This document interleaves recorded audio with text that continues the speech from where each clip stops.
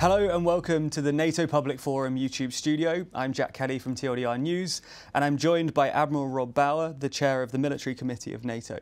Hello. Very nice to meet you. Thanks for joining nice us. Nice to meet you, Jack. I'm going to dive straight into Ukraine, which is obviously the big topic being discussed both here and around the world. Um, just last week, you warned about underestimating Russia's ability to bounce back in the war and more generally. How do you think NATO's new plans help to protect against the continued threat of Russian aggression? The plans are basically based on the Russian threat and the threat from terror groups. So we are in a very good position with these plans. But it's not only about the plans. We need now, the nations need now, to do what is necessary to make those plans work. So this is about executability of the plans. Uh, because if you are looking at collective defense, it's basically that the timelines is, is based on the enemy. So if someone attacks you, you have to be ready. There's no, there's not a lot of time if you are attacked and when you are attacked. So that is why it is so important to have more forces at a higher readiness level, that we are going to really buy the capabilities that we need, mm -hmm. air defense systems or whatever is that is part of the package of uh, capabilities that we need to successfully deter and defend against those two threats. So it is now, it's great to have the plans, which is very historic. Yeah. Uh, and it's an enormous uh, amount of work to, to get there. Um, but it is now time to make them executable. And part of that obviously is involving kind of spending targets around the world. Um, NATO members collectively increased their defence spending by 8.3% in real terms last year, um, which is a record level of spending. Um, but there are some NATO members that are still below the 2% target. Do you think that NATO is doing enough to guarantee security for the future? And is there anything more that could be done there? So the good news is that since 2014, when the first discussion was on the defence investment pledge, uh, the, the, the, decision in Wales then was we're going to move towards 2%. Yes. And then 20% of the defense budget invested in capabilities. Mm -hmm. um, and no more lower budgets in absolute terms. And I think that has been a success in a way that uh, uh, NATO has seen a huge increase in uh, the, uh, the, the defense budgets across the board. Some are moving faster than others. Uh, and I think part of the discussion here in Vilnius will be what is the new defense investment pledge? Is 2% the ceiling or is it the floor? And I think we are moving towards 2% as a floor. And that then helps us to actually uh, have the money available for all these investments that are necessary. So I think the decision that will be taken in the coming in the coming days uh, are very important again because they basically assure that there is sufficient money to, to, to do the things that are necessary. Mm -hmm. But we cannot do it alone because uh, there's another factor that is very important, and that is the defense production capacity. So the defense industries in, uh, let's say, Europe and uh, North America. And, uh, and we've seen, again, uh, with a war, as we saw with the pandemic, that just in time, just enough which mm -hmm. has been driving our economies for, for decades, is actually too late and, and not enough. Mm -hmm. And therefore, uh, we need to ramp up the production capacity. But it is uh, uh a private, uh, it's a private sector.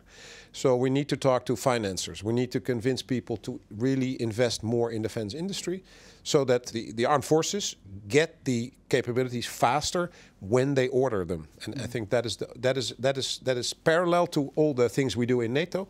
We need to work on that as well. Absolutely. Um, we obviously heard massive news yesterday that um, Turkey's President Erdogan would be ready to ratify Sweden's accession into NATO. I'm interested on your perspective of what Sweden will add to, the, uh, to NATO's collective security. Well, the good news for all of us is that with the accession of Finland and Sweden, of course, we have more territory to defend, mm -hmm. which is a concern, might yes. be a concern to some. But the good news is they bring very capable forces to, to help us and to help themselves and to help us as a collective. So uh, I think we are in a very good position with those two nations because they have very modern armed forces. Uh, because they were working with us already for a long time. So the integration in military terms in our armed force, in, in the structures, in the military structures, is going to be very easy. Mm -hmm. Uh, as we now see with Finland already. Yes. Uh, and militarily, there's a, there's another uh, advantage, and that is that the defense of the Baltic region will become easier for NATO, because basically, um, uh, so the vulnerability for nations like the Baltic states and Poland is going down because of Finland and Sweden mm -hmm. to the, to their north and northeast. So, I think in many ways it is good news. Uh, it is, a, it is uh, uh, contrary to what Putin wanted. He wanted less NATO. He gets mm -hmm. more NATO. Yeah. He wanted a less united NATO. He has a more united NATO. So I, in many ways, he made a strategic mistake, not, not with terrible consequences for Ukraine. Mm -hmm. But I think in terms of our alliance, it has strengthened uh, uh, the alliance in, in a way that nobody basically uh, foresaw. Absolutely.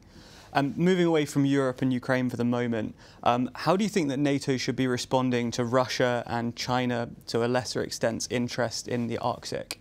The Arctic is, uh, has always been an important area for, for NATO. But again, with the accession of Finland and Sweden, seven out of the eight uh, nations in the Arctic Council mm -hmm. are NATO members. Yes. So uh, we are better placed, so to say, to, uh, to respond to threats from the high north. Mm -hmm. uh, and if climate change uh, increasingly will lead to an opening of the northern route, mm -hmm. there's a, a, another threat access, so to say, from the north uh, uh, that can be used by Russia in practical terms and theoretically also by China. But mm -hmm. that means that we also already have our regional plans focusing on the high north as well. Yeah. So we are looking at this. We are making sure together with the, the nations that are close to the high north, that we have the right capabilities, that we have the plans in place to actually do what is necessary to protect us uh, in, in that region as well. And finally, how much attention do you think NATO should be paying in the Indo-Pacific as we head into the future?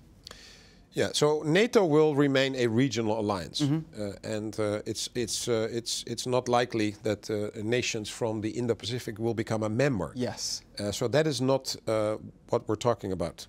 Uh, so we're not looking to enlargement to the Far East, mm -hmm. as you sometimes even hear.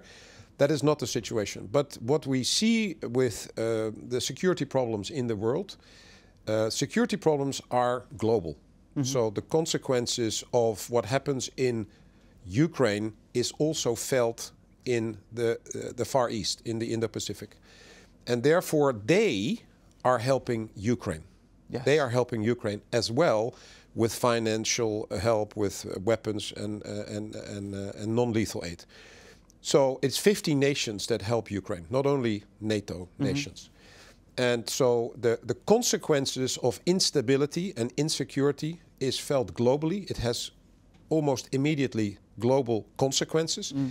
Therefore, we talk to uh, the Asia Pacific partners, Australia, New Zealand, Japan, and South Korea and they want to talk to us mm -hmm. because what happens in Ukraine can happen in their region as well. Yeah. And then they they want to have the contact with us. We don't have plans against China, military plans, because mm -hmm. China is not seen as a threat, but as a challenge. Um, and, and we will have to look uh, what it means for our region if China would become more active. But for now, that is not uh, militarily. That's not the case. Um, but it, the, the, discussions with the Asia Pacific nations, especially, is about how we cooperate in general terms, uh, how we uh, learn from each other, how we can help each other, uh, both on the political and the military uh, levels. Very interesting. Thank you so much for your time, Admiral. Okay. Thank Pleasure. You.